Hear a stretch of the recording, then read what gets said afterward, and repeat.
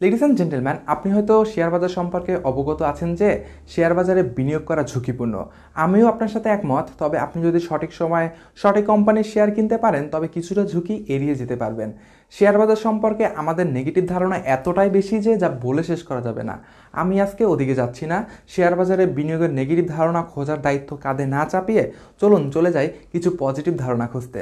Share মার্কেটে বিনিয়োগ করার অনেক কারণ রয়েছে, আমাদের বাংলাদেশে বিনিয়োগের অনেক মাধ্যমও রয়েছে। তার মধ্যে কেন আপনি শেয়ার মার্কেট বেছে নেবেন তার কিছু কারণ তুলে ধরার ইচ্ছা প্রকাশ করছি।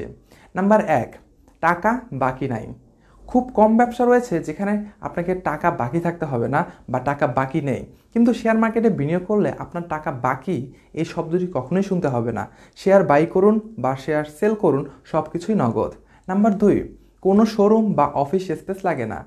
আপনি শেয়ার মার্কেটে ব্যবসা করবেন যেখানে আপনার কোনো অফিস দোকান শোরুম কিছুই লাগবে না। অপরদিকে যে কোনো ব্যবসায় অফিস বা দোকান ভাড়া না নিয়ে আপনি ব্যবসা চালাতে পারবেন না। তাহলে বছরে কত টাকা সেভ হবে একবার ভেবে দেখুন।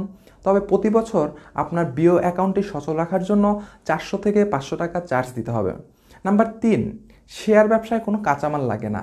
আমাদের দেশে চলমান যে কয়টি উৎপাদনমুখী ব্যবসা রয়েছে, সবগুলোতেই কোনো না কোনো কাঁচামালের দরকার হয়। অপরদিকে শেয়ার মার্কেটে বিনিয়োগ, এইগুলো কিছুই নেই।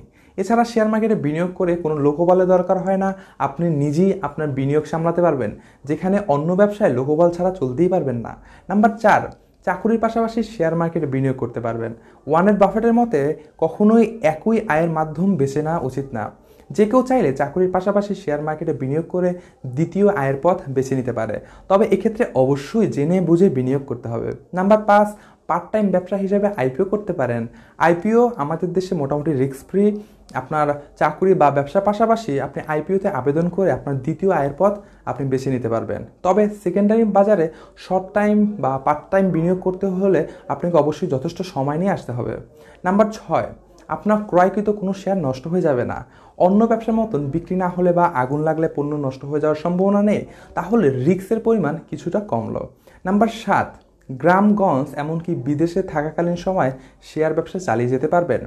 এমনকি আপনার বেডরুমে বসে মোবাইল দিয়ে অনাহাসে লাখ লাখ টাকা ট্রেড করতে পারবেন। নাম্বার আট, কারও কাছে জবাবদিহিতা নেই। আপনি যদি কোনো স্বাধীনভাবে টাকা আয় করার মাধ্যম খুঁজে থাকেন, তাহলে শেয়ার মার্কেট আপনার জন্য উত্তম হতে পারে। নাম্বার নয়, নবাবী ব্যবসা। সকাল দশটা তিরিশ থেকে দুইটা তিরিশ পর্যন্ত মার্কেট খোলা থাকে। আমার জানা নেই, আমাদের দেশে এমন একটি ব্যবসা রয়েছে বা চাকরি রয়েছে যেখানে এত কম সময় দিতে হয়। তাই এই ব্যবসাকে নবাবী ব্যবসা বললে কি খুব বেশি ভুল হবে? নাম্বার দশ, লাভ ও রিস্ক দুইটাই বেশি। শেয়ার মার্কেটে বিনিয়োগ করলে লাভ ও রিস্ক দুইটাই বেশি, তবে সঠিক সময়ে সঠিক কোম্পানির শেয়ার কিনতে পারলে রিস্ক এড়িয়ে ভালো টাকা লাভ করা সম্ভব। আরেকটি মজার বিষয় হচ্ছে, শেয়ার বাজারে বিনিয়োগে ট্যাক্স দিতে হয় না। এই ছিল আজকের ভিডিওটি। ব্যবসা বাণিজ্য, শেয়ার বাজার সহ টাকা পয়সা রিলেটেড ভিডিও পেতে চ্যানেলটি সাবস্ক্রাইব করে রাখতে পারেন।